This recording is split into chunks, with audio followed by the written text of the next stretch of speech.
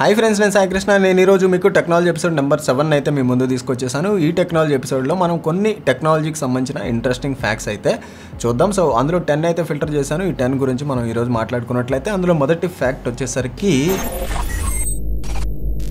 Friends మీకు ఆకలిస్తే మీరు ఏం చేస్తారు? వెంటనే వంటగదిలోకి వెళ్ళిపోతారు ఏది దొరికితే తినేస్తారు లేదా ఇంట్లో లేడీస్ ఉంటే వాళ్ళ చేత ఏదో ఒకటి వండించుకొని తింటారు. అంతే. కొంతమంది అయితే ఏం చేస్తారు? జొమాటోలో స్విగ్గీలోనో ఆర్డర్ పెట్టేసుకొని తింటారు. కానీ ఫుడ్ని ప్రింట్ చేసుకొని తింటామా మీరు వింటుంది నిజమే. కానీ మనం ఫ్యూచర్లో ఫుడ్ని ప్రింట్ చేసుకొని తినబోతున్నాం. మనం ఫ్యూచర్లో మనం తినాలి అనుకున్న ఫుడ్ని ప్రింట్ చేసుకొని తినొచ్చు.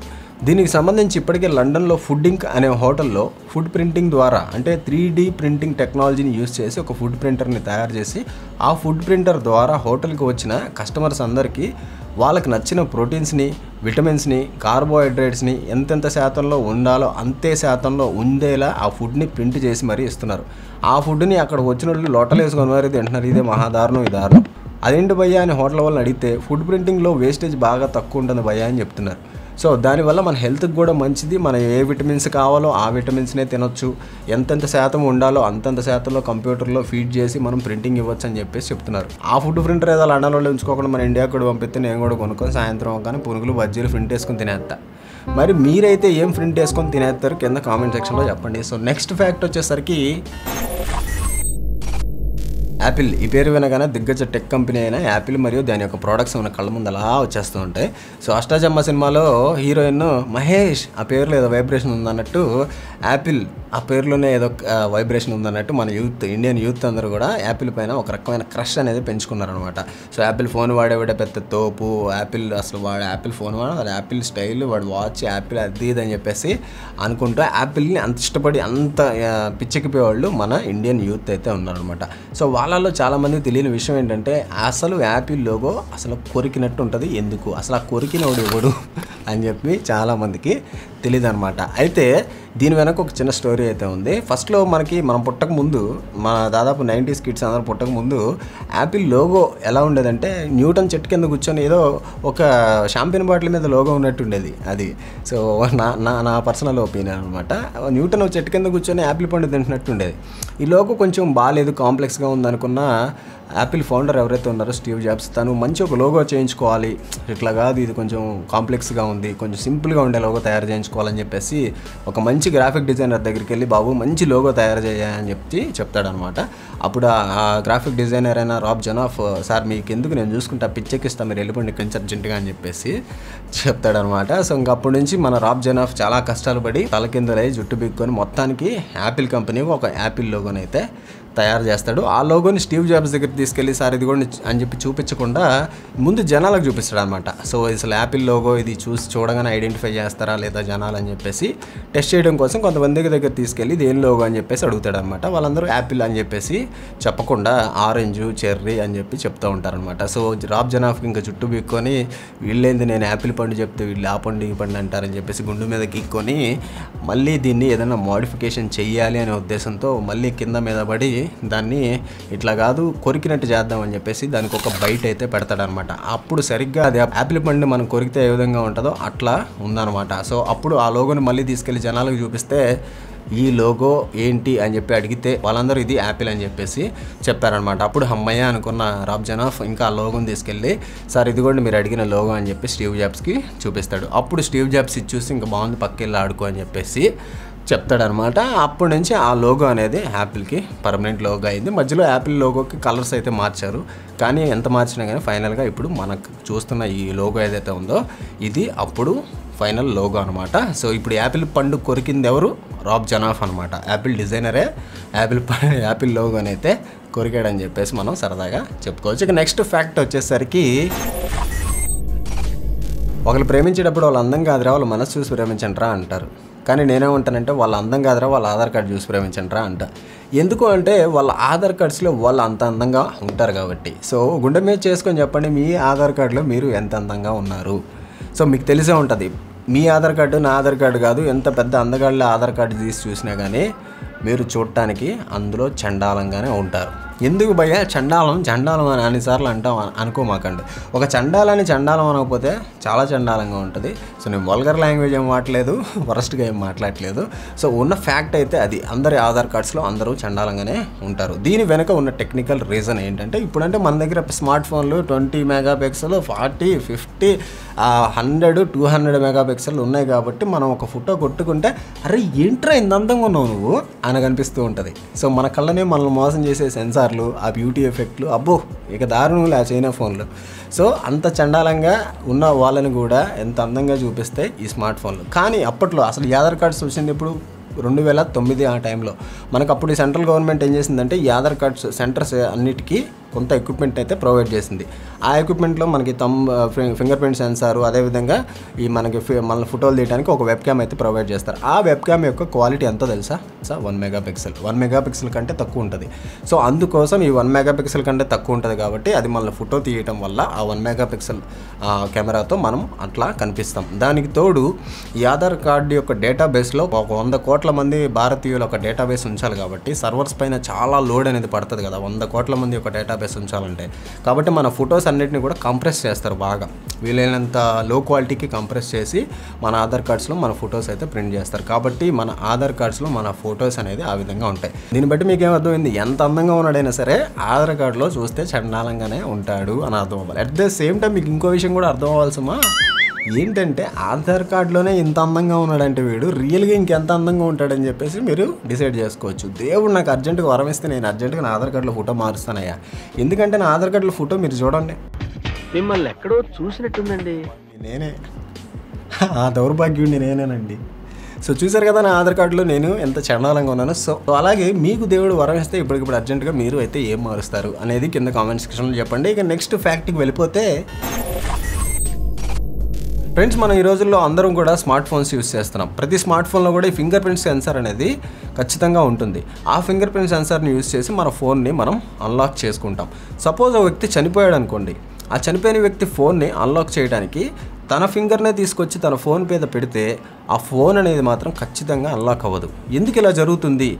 చనిపోయిన తర్వాత తన ఫింగర్ ప్రింట్స్ ఏమన్నా మారాయా అని మీరు ఆలోచిస్తూ ఉంటారన్నమాట. జనరల్గా మనం పుట్టిన దగ్గర నుంచి చనిపోయే వరకు మన ఫింగర్ ప్రింట్స్లో ఎటువంటి మార్పు అనేది ఉండదు. అంటిల్ ఆ చనిపోయిన వ్యక్తి బాడీ అనేది డీకంపోజ్ అంటే కుళ్ళిపోతే స్థితిలో ఉంటే తప్ప తన ఫింగర్ ప్రింట్స్లో ఎటువంటి మార్పు రాదు. మరి ఎందుకు తన ఫోన్ అన్లాక్ అవ్వట్లేదు? అని మీరు ఆలోచించినట్లయితే టెక్నికల్గా ఒక రీజన్ అయితే ఉంది. ఆ రీజన్ ఏంటంటే ఈ మధ్యకాలంలో తయారయ్యే ప్రతి ఎలక్ట్రానిక్ డివైజెస్లో అలాగే స్మార్ట్ ఫోన్స్లో కూడా కెపాసిటివ్ టచ్ సెన్సార్ని అయితే యూస్ చేస్తున్నారు. ఆ కెపాసిటివ్ టచ్ సెన్సార్ ఏం చేస్తుందంటే అవి మనిషి బాడీలో ఉండే ఎలక్ట్రిక్ ఫ్లోని సెన్సార్ సర్ఫేస్ పైన మనిషి ఫింగర్ పెట్టగానే ఎలక్ట్రిసిటీ కండక్టివిటీని ఐడెంటిఫై చేస్తుంది. ఫింగర్ ప్రింట్ మ్యాచ్ అవగానే అన్లాక్ అవుతుంది. అదే ఒకవేళ మనిషి చనిపోతే మాత్రం ఫింగర్ ప్రింట్ మ్యాచ్ అయినా కానీ ఎలక్ట్రిక్ ఫ్లో అనేది డిటెక్ట్ అవ్వదు కాబట్టి ఆ టచ్ సెన్సార్ అనేది ఫోన్ అన్లాక్ చేయదు. సో ఇక్కడ మీకు ఒక డౌట్ రావచ్చేమో. సపోజ్ మనిషి ఏదైనా యాక్సిడెంట్ అయ్యి అన్కాన్షియస్ అయ్యి అప్పుడు అతని ఫింగర్ తన ఫోన్ పైన పెడితే ఫోన్ అన్లాక్ అవుతుందా అని. దీనికి ఆన్సర్ ఎస్ ఖచ్చితంగా అవుతుంది. సపోజ్ మనిషి కోమాలో ఉన్న అన్కాన్షియస్ అయినా ఈ ఫింగర్ ప్రింట్ స్కానర్ అనేది పనిచేస్తుంది. ఎందుకంటే ఎలక్ట్రిసిటీ అనేది మన బాడీలో ఫ్లో అవుతుంది కాబట్టి. కానీ మనిషి చనిపోయినప్పుడు మాత్రం ఎలక్ట్రిసిటీ ఫ్లో అనేది ఉండదు కాబట్టి ఇక్కడ ఖచ్చితంగా ఈ ఫోన్ అనేది అన్లాక్ అయ్యే ఛాన్సెస్ అనేది లేదు. సరిగ్గా ఇక్కడే మీకు ఇంకో డౌట్ కూడా రావచ్చు. మరి మన పోలీస్ డిపార్ట్మెంట్ వాళ్ళు అప్పుడప్పుడు అన్ఐడెంటిఫైడ్ బాడీస్ నుంచి ఈ ఫింగర్ ప్రింట్స్ ద్వారానే వాళ్ళు ఎవరు ఏంటి అనే డీటెయిల్స్ అనేది కనిపెడుతూ ఉంటారు కదా మరి అది ఎట్లా జరుగుతుందని చెప్పేసి మీకు డౌట్ అయితే రావచ్చు. మన పోలీస్ డిపార్ట్మెంట్ వాళ్ళు ఫారెన్సిక్ వల్ల హెల్ప్ అయితే తీసుకుంటారు. ఫారెన్సిక్ డిపార్ట్మెంట్లో చాలా అడ్వాన్స్డ్ టెక్నాలజీస్ అయితే ఉంటాయి. చాలా సిగ్నిఫికెంట్ అడ్వాన్స్మెంట్స్ అయితే ఫారెన్సిక్ డిపార్ట్మెంట్లో గతంలో నుంచి వచ్చినాయి అనమాట సో ఎప్పటికప్పుడు వాళ్ళు టెక్నాలజీని అప్గ్రేడ్ చేసుకుంటారు కాబట్టి డీకంపోజ్ అయిన బాడీస్ నుంచి కూడా డిఎన్ఏస్ ద్వారా కానివ్వండి ఫింగర్ ప్రింట్స్ ద్వారా కానివ్వండి హెయిర్ నుంచి కానివ్వండి వాళ్ళు ఒక బాడీని ఐడెంటిఫై చేయగలుగుతారు. కాబట్టే మన పోలీస్ డిపార్ట్మెంట్ వాళ్ళు ఎంతటి కేసునైనా కానీ ఛేదించగలుగుతారు. సో నెక్స్ట్ ఫ్యాక్ట్ వచ్చేసరికి ఫ్రెండ్స్ మీరు ఎప్పుడైనా ఆలోచించారా? మొబైల్ నెంబర్స్ అన్నీ సెవెన్ ఎయిట్ నైన్తో ఎందుకు స్టార్ట్ అవుతాయని? So one two three four ఫైవ్తో ఎందుకు స్టార్ట్ అవ్వవు అని చెప్పేసి. సో వీటన్నిటిని కంట్రోల్ చేయడానికి telecom regularity authority of India కొన్ని నంబర్స్ని కొన్ని వాటికి మాత్రమే ఉండాలి అని చెప్పేసి ఎలాకాట్ చేయడం అయితే జరిగింది. సో ఆ నెంబర్స్ ఏంటి అన్నట్లయితే జీరోతో స్టార్ట్ అయ్యన్నీ కూడా ఎస్టీడీ కోడ్స్కి ఎలాకాట్ చేయడం అయితే జరిగింది. ఇప్పుడు మీరు zero four zero zero eight double six zero eight six ఇట్లా రకరకాల జీరోతో స్టార్ట్ అయ్యన్నీ కూడా ఎస్టీడీ నెంబర్స్ కింద పరి ఎస్టీడీ కోడ్స్ కింద పరిగణించడం జరిగింది. అదే మీరు వన్తో స్టార్ట్ అయ్యన్నీ కూడా police services ambulance services government services ఏవైతే ఉంటాయో వన్ నాట్ ఎయిట్ ఇట్లాంటివి. సో వన్తో స్టార్ట్ అయ్యన్నీ కూడా వాటికి ఎలాకాట్ చేయడం అయితే జరిగింది. అదే టూ నుంచి సిక్స్ వరకు చూసుకుంటే మీకు ల్యాండ్లైన్ నెంబర్స్గా వాటిని పరిగణించడం జరిగిందనమాట. అదే మీకు సెవెన్ ఎయిట్ నైన్ చూసుకుంటే వీటిని మొబైల్ నెంబర్స్కి కేటాయించడం అయితే జరిగింది. ఈ మధ్యకాలంలో మీరు చూసుకున్నట్లయితే సిక్స్ అనే నెంబర్తో కూడా మొబైల్ నెంబర్స్ అయితే రిలీజ్ అవుతున్నాయి. మన మొబైల్ నెంబర్ మీరు చూసినట్లయితే కేవలం పది అంకెలు మాత్రమే ఉంటుంది. త్వరలోనే ట్రాయ్ పదకొండు అంకెల గల మొబైల్ నెంబర్స్ని కూడా రిలీజ్ చేస్తున్నట్టు మనకి ఇన్ఫర్మేషన్ అయితే ఉందన్నమాట ఎందుకంటే ఈ మొబైల్ నెంబర్స్ అనేవి రిజిస్ట్రేషన్స్ అనేది అయిపోయినాయి అనమాట. ఆల్మోస్ట్ అందరూ వాడేస్తున్నారు కదా వంద కోట్ల మంది ప్రజలు మొబైల్ ఫోన్స్ ఒక్కొక్కరికి రెండు మూడు నాలుగు ఫోన్ నెంబర్లు అయితే ఉన్నాయి. కాబట్టి నెంబర్స్ అన్నీ అయిపోతున్నాయి కాబట్టి నెక్స్ట్ నుంచి పదకొండు నెంబర్లు ఉండే మొబైల్ నెంబర్స్ కూడా మనం ఫ్యూచర్లో చూడొచ్చు అనమాట సో ఇక నెక్స్ట్ ఫ్యాక్ట్కి వచ్చేసరికి ఇది ఒక ఫ్యాక్ట్ లాగా కాకుండా దీన్ని ఒక చిన్న టిప్ లాగా మీరు ఫాలో అయినట్లయితే ఇది ఖచ్చితంగా ప్రతి ఒక్కరి లైఫ్లో ఏదో ఒక సందర్భంలో మీకు యూజ్ అవుతుంది. మీరు సపోజ్ ఎక్కడైనా బయట ఉన్నారనుకోండి మీ దగ్గర పవర్ బ్యాంక్ కానీ ఛార్జర్ కానీ ఫోన్ ఛార్జింగ్ చేసుకునే ఫెసిలిటీ కానీ లేదు. మీ ఫోన్లో ఛార్జింగ్ చూస్తేనేమో ఒక టెన్ పర్సెంట్ ఎంత ఉందనుకోండి. కాకపోతే మీరు వన్ అవర్ తర్వాత ఒక ఇంపార్టెంట్ వ్యక్తికి ఒక ఇంపార్టెంట్ కాల్ చేయాలి. అప్పటి వరకు ఈ టెన్ పర్సెంట్ ఛార్జింగ్ అయితే రాదు. ఫోన్ ఏం చేయకుండా అలా పక్కన పెట్టేసినా కానీ రాదు అని మీకు అనిపించింది అనుకోండి మీరేం చేస్తారు? వెంటనే ఫోన్ని స్విచ్ ఆఫ్ చేసేసి మీరు ఎవరికైతే ఫోన్ చేయాలనుకుంటున్నారో ఏ టైంలో అయితే ఫోన్ చేయాలనుకుంటున్నారో సపోజ్ ఒక వన్ అవర్ తర్వాత ఆ ఫోన్ని మళ్ళీ ఆన్ చేసేసి ఆ వ్యక్తికి మీరు కాల్ చేసి మాట్లాడుకుంటారు. కానీ ఇలా చేయటం వల్ల మీ ఫోన్ యొక్క ఛార్జింగ్ అనేది ఇంకా ఎక్కువ ఖర్చు అయిపోతుంది ఇంకా ఎక్కువ కన్జ్యూమ్ చేస్తుంది. సో ఇలా కాకుండా నెక్స్ట్ టైం మీరు ఫోన్ చేసుకోవాలి అట్లా ఇట్లాంటి సిచ్యువేషన్ మీకు ఎదురైనప్పుడు మీరు ఏం చేస్తారంటే మీరు ఎప్పుడైతే ఫోన్ చేసుకోవాలనుకుంటున్నారో అప్పటి వరకు మీ ఫోన్ని ఎయిర్ప్లేన్ మోడ్లో పెట్టేయండి. అప్పుడు మీ ఫోన్ యొక్క ఛార్జింగ్ అనేది ఎక్కువ కన్జ్యూమ్ అవ్వదు. సో తర్వాత మీరు ఎప్పుడైతే ఫోన్ చేసుకోవాలనుకుంటున్నారో అప్పుడు ఆ ఎయిర్ప్లేన్ మోడ్ని ఆఫ్ చేసేసి మీరు ఎవరికైతే కాల్ చేసుకోవాలనుకుంటున్నారో వాళ్ళకి కాల్ చేసేసుకొని మళ్ళీ ఎయిర్ప్లేన్ మోడ్లో పెట్టేసుకోండి. ఈ ఎయిర్ప్లేన్ మోడ్లో పెట్టడం వల్ల ఏంటంటే మీకు బ్యాటరీ అనేది తక్కువ ఖర్చు అవుతుంది సపోజ్ స్విచ్ ఆఫ్ చేసి స్విచ్ ఆన్ చేస్తారనుకోండి. స్విచ్ ఆఫ్ చేసేటప్పుడు ఎక్కువ పవర్ తీసుకుంటుంది. అదేవిధంగా స్విచ్ ఆన్ చేసేటప్పుడు కూడా మళ్ళీ ఎక్కువ పవర్ తీసుకుంటుంది. అంతేగాని ఎయిర్ప్లేన్ మోడ్లో పెట్టడం వల్ల చాలా వరకు మీ బ్యాటరీ యొక్క పవర్ అనేది తక్కువ కన్జ్యూమ్ అవుతుంది. సో ఇది నెక్స్ట్ టైం మీకు ఎప్పుడైనా ఇట్లాంటి రన్ అండ్ గన్ సిచ్యువేషన్స్ వచ్చినప్పుడు దీన్ని మాత్రం యూజ్ చేయండి. చాలా అద్భుతంగా ఈ టిప్ అనేది ఉపయోగపడుతుంది. ఇక నెక్స్ట్ ఫ్యాక్టరీకి వచ్చేసరికి కంప్యూటర్ వైరస్ అనగానే చాలామంది కంప్యూటర్స్ యూజ్ చేసేవాళ్ళు భయపడుతూ ఉంటారు. సో నేను కూడా కంప్యూటర్ యూజ్ చేస్తాను కాబట్టి నేను భయపడతా. కంప్యూటర్ వైరస్ అంటే భయం లేని వాళ్ళు అంటే ఎవరు ఉంటారు. ఎందుకంటే ఒకసారి ఆ వైరస్ అటాక్కి గురైతే ఆటోమేటిక్గా భయం అనేది వచ్చేస్తుంది అనమాట సో కానీ ఈ కంప్యూటర్ వైరస్ అనేది అసలు ఎక్కడ తయారైంది? సో ఫస్ట్ ఈ వైరస్ని అసలు ఎవరు తయారు చేశారు అనే విషయం మీకు తెలుసా? పంతొమ్మిది వందల డెబ్బై ఒకటిలో మొదటిసారిగా క్రీపర్ అనే ఒక వైరస్ని డెవలప్ చేశారు కొంతమంది.